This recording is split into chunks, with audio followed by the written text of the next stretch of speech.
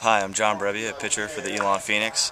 Coming up this weekend, we have a key conference series against the preseason conference favorites, College of Charleston. The games are Friday, Saturday at 6.30 and Sunday at 1.30. We hope to see you guys out there.